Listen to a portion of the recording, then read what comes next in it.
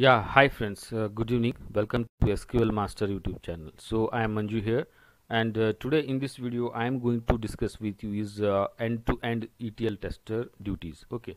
So what exactly the ETL tester is going to do a whole day? Okay. So end-to-end ETL testing, uh, the tester duties. So I am going to reveal here. So uh, kindly subscribe to my channel SQL Master YouTube channel so you will get more videos on this regard. So let us uh, start the videos so that will be more informative and uh, helpful for you people to face the interviews. Okay. Because some people don't know uh, the thing partially know the things what exactly the ETL tester is going to do. So what are the responsibilities and uh, what all the things included in ETL testing field. So that's what I am going to share you in this video. So let us start the video. So these are the some uh, templates what I made here. So ETL tester first he go through any mails came and if mails required response he can respond for them. So all of us uh, the first point uh, we uh, inform or we interact with the interview the this first point. Okay. So but uh, what exactly the meaning of this uh, sentence? So uh, at the start of the duty the tester is going to outlook express. The mailing which is using by industries are outlook express. So if any mail required response okay so any uh, related to duty okay related to testing. So mails are required response so he can go through those mails and uh, reply for those mails. The tester this is first duty of uh, ETL testing engineer. And then it occurs about uh, 15 to 20 minutes or you can say of uh, 30 minutes stand up call discussion.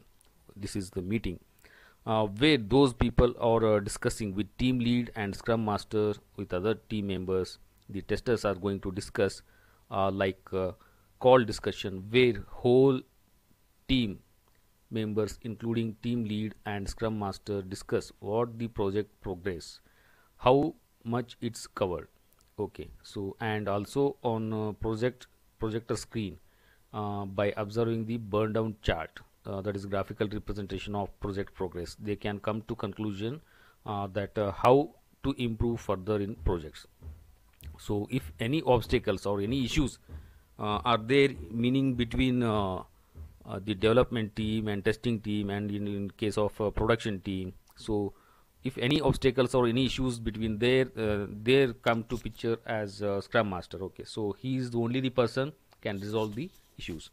So uh, and if any defect raised by the tester he can go for discussion on particular defect. So these are also the some uh, discussion uh, which is going on every day in stand-up call discussion. Okay. So weekly call meeting also there and uh, monthly call meeting also there and daily call meeting also is there. Okay. Uh, they can just discuss about the testing uh, if any problems issues are there and if any obstacles present over there. And if uh, any coordination between the different uh, departments developer production department if any uh, issues are there he they can discuss with the team lead and the scrum master. So this is very important thing. So you can say to interview this one. And executing the test cases. One the issues are resolved by the scrum master or else team leader. Then tester can move to execute the test cases. So while executing the test cases if uh, tester find the bug or defect so he can raise the defect uh, to particular developer. Until he resolved he can trace the particular test case and follow them. Okay here uh, the uh, thing is that the tester can invest some of the time in uh, identifying whether actually it is bug or just it is uh, confusion. Okay what it's creating. Sometimes it creates some confusion. Okay so tester have to invest some time uh, to find the bug or to find the defect whether it's actually the defect or bug. So if he realizes that the, uh, the particular thing is bug or defect then only he can discuss with the on-site coordinator with uh, developer and team lead and uh, also the client. So then he can raise the defect report to the particular developer with uh, taking artifacts and screenshots of particular bug. And he can send and he can just uh, uh, what you can say he can priority. Okay so priorities depend on the developer and severity. The tester can uh, define the severity of uh, how much it is impacting the module or a whole module so this is what the uh, uh thing. Here and developer undergo the four scenarios. Okay. So that's what uh, the defect cycle. So next moving to validation part. Okay. Uh, validating the data records what the data loaded by developer is correct or not. Has to test using SQL standard queries. He can perform high level validations with SCD that is uh, slowly changing dimensions for initial and incremental load for uh, each validation he has to take screenshot and artifacts to prove uh, whatever he validated. If using informatica he is to apply business logic and business uh, apply several transformation rules to validate data. And he can also set the for the automation using provided script. Okay some automation tools also we can use here. That is the stored procedure also and some programmatic uh, scripts also there. So if we want to uh, repeat uh, almost all repeating tasks we may want to uh, uh, make it automate. Okay so again doing doing uh, again and again if we we want to do we can set for automation. So that's what the thing is here. And then finally using reporting tools. Uh, tester can report to the team lead wherever uh, whatever he done the work. So uh, these are some tools are there in market. You can go through the google it or youtube it. So i will also make videos on reporting tools etl testing reporting tools so you can just go through any uh, two or three reporting tools in depth. Okay. You can understand the reporting tools are very important because uh, interviewer may ask you okay which reporting tool you used and within reporting tools what all concepts cover they may ask you in interview. Okay. So for that reason go for uh, the reporting tools uh, in depth and then only you can understand the things. And also i i also make uh, some videos on um, in my youtube channel in future uh, very soon. So this is what the thing friends and uh, one more thing is that uh, this is what the template of test case okay test case template. So this is what look like. This is here test case id and created by the name and test case description and reviewed by and version number okay. This is standard format and uh, qa testers log. So this is what the uh, some details description and tester name and date tested and the test case fail pass or not. So this is what status he has to maintain.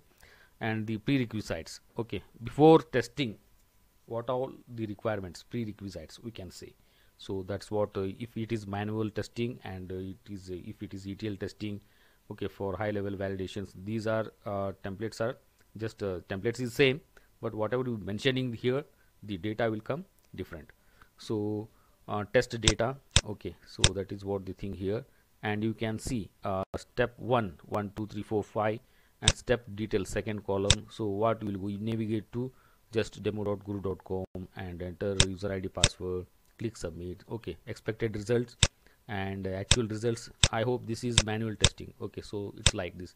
In case of etl testing or in case of high level validations you can use uh, here uh, one more column like sql queries. Okay before this. After step details you can use sql query then expected results and actual result. So this is what the thing here. This is just template. So if it is manual testing for example you are considering that you are testing one website. For example it is facebook. Okay. So you have to test uh, username and uh, password. Okay. If password is wrong if you type password wrong what error message it has to give that must that must uh, has to give error message. Okay what we expect that error message. Okay so that is called as negative testing. Most high experienced people can do that negative testing. And if it is both our username and password correct then it has to log in and uh, uh land into the facebook dashboard. So these all are the matter okay you must have to go in depth very depth so you can understand the pro things properly okay. Uh, take this very serious and do the uh, study well. And uh, prepare for cross questions also. Okay for interview uh, you must be very smart to prepare for interviews. Okay don't read uh, theory. Okay just go as smart. So you can prepare well in that. So i hope uh, you understood this video concept uh, clearly so that it will be a little bit at least little bit it will help you for interview preparation.